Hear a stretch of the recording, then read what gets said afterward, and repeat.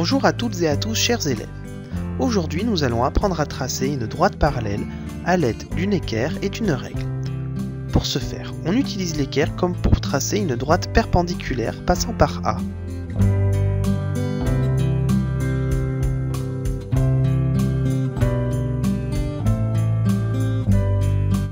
On place ensuite la règle le long de l'équerre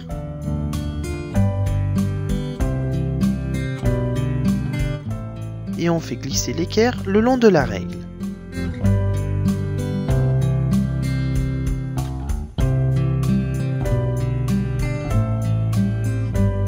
On trace enfin la parallèle.